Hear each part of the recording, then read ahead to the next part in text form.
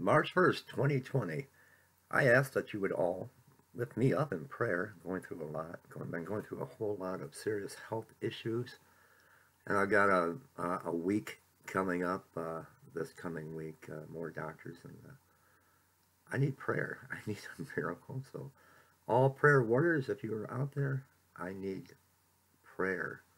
Please pray for me. Pray for this ministry.